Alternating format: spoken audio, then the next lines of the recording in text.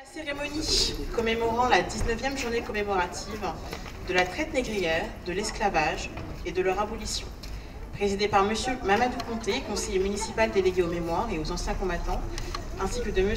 Jean-Claude Perramin, président de l'association Ultramarine Cactif. L'abolition de l'esclavage n'était pas seulement la fin de, de créer un monde où chaque individu est libre de vivre avec dignité et égalité. C'est grâce aux efforts inlassables des abolitionnistes, des militants et des visionnaires que nous sommes aujourd'hui témoins de ce progrès.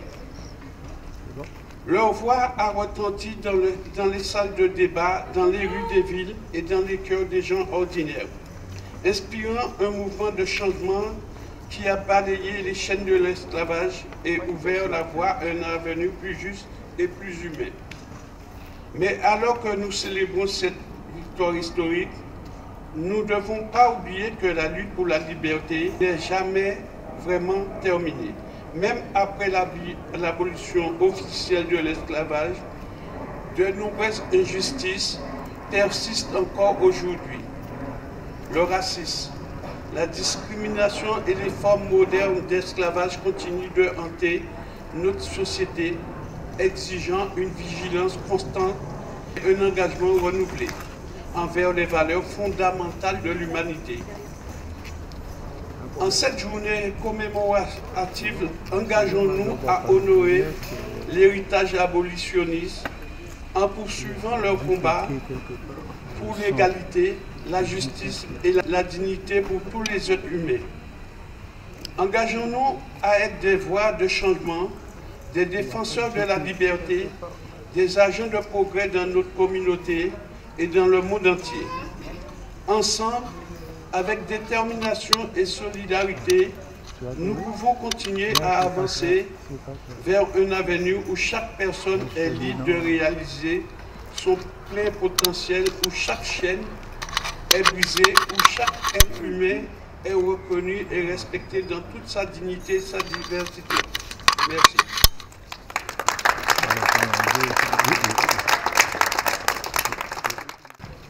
Je laisse la parole à M. Mamadou Conté, conseiller municipal délégué aux mémoires et aux anciens combattants, aux relations occultes et au budget participatif à prendre la parole. Madame la conseillère départementale, Mesdames, Messieurs les élus, Mesdames, Messieurs les représentants des corps constitués, M. Bouvier, Mesdames, Messieurs les présidents d'associations et membres d'associations, Mesdames, Messieurs, chères Colombiennes, chers Colombiens. Cette année, le thème de l'année 2024, du temps des mémoires, est résister à l'esclavage, survivre, s'opposer, se révolter. Les premiers anti-esclavagistes sont eux-mêmes, sont esclaves eux-mêmes. Des révoltes dans les colonies espagnoles au XVIe siècle, jusqu'à celle des États-Unis et du Brésil pendant la deuxième moitié du XIXe siècle, la résistance de l'esclavage a toujours accompagné l'esclavage.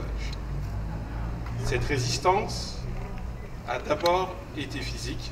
Survivre sur, un système inhumain de l'esclavage demandait des qualités de force et d'intelligence que les personnes en esclavage ont appris à développer, y compris leur stratégie d'accommodement pour améliorer leurs conditions matérielles dans un système qui, qui ne leur faisait pas aucune place, sinon celle de l'exploitation. Excusez-moi.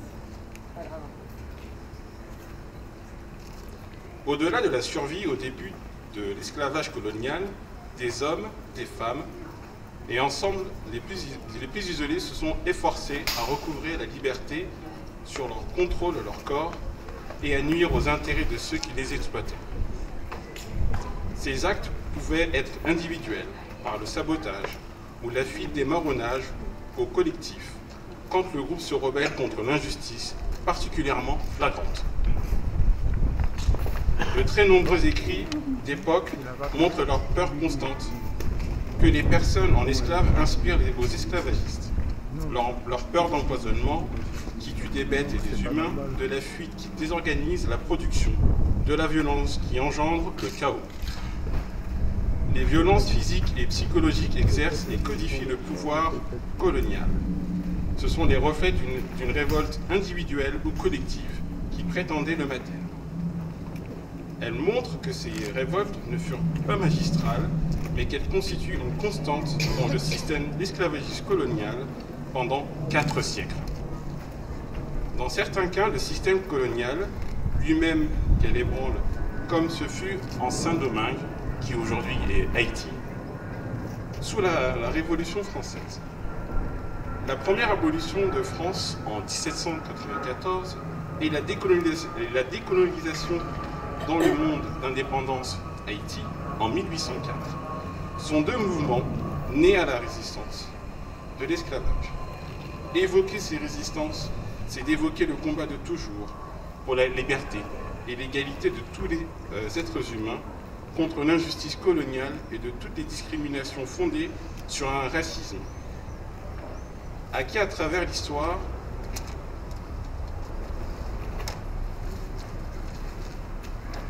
à travers l'histoire sur nos continents s'est forgé dans la matrice esclavagiste.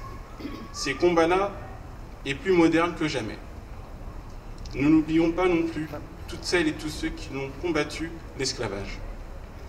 Des gens comme Alphonse de Lamartine, Étienne Lavaux, Pierre Moreau, Jean-Philippe Saquier. Ils étaient ici, mais ils s'intéressaient au monde. Ils ne fermaient pas les yeux sur les injustices, qu'elles étaient lointaines. À leur manière, ils étaient universalistes. On peut, même dire qu'ils ont inventé l'idée de l'universalisme.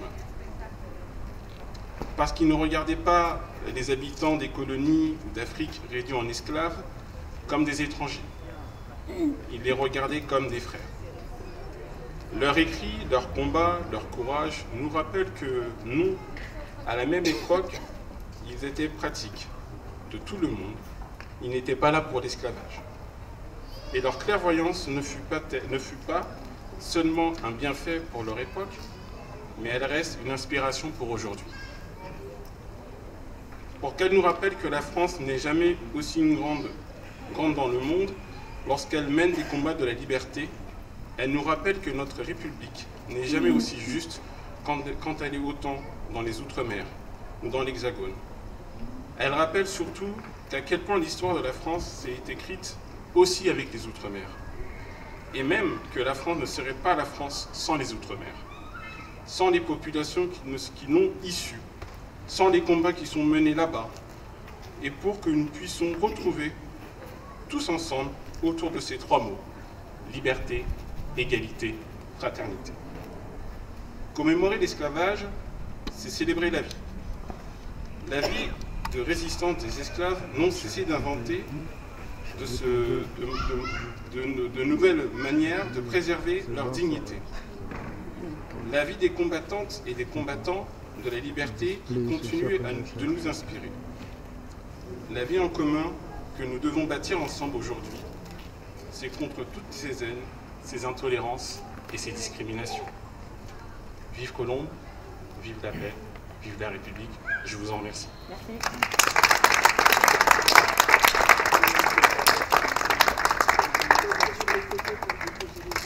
Nous allons procéder au dépôt de gerbes. Je vais inviter Monsieur Laurent Guillard, représentant de Madame Francesca Pasquini, députée des Hauts-de-Seine, à venir déposer la gerbe. Charlie, on peut pas déplacer.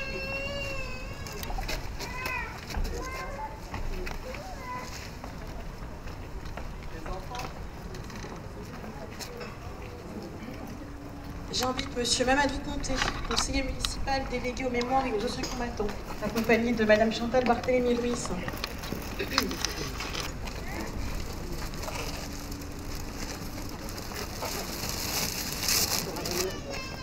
Enfants de la patrie, le jour de gloire est arrivé. Contre nous de la tyrannie, L'étendard sanglant élevé, l'étendard sanglant élevé. Entendez-vous dans les campagnes mugir ces féroces soldats qui viennent jusque dans nos bras, égorger nos fils et nos campagnes aux armes citoyens formés Marchons, marchons, qu'un sang.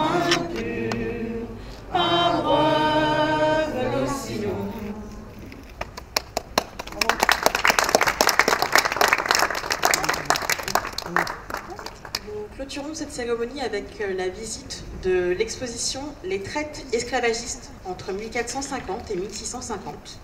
Elle est installée sur le parvis, vous pouvez prendre connaissance de toutes les informations autour de l'histoire de cette commémoration. Nous suivrons ensuite avec un cocktail juste devant le, théâtre de l'avant-scène à partager ensemble. Merci.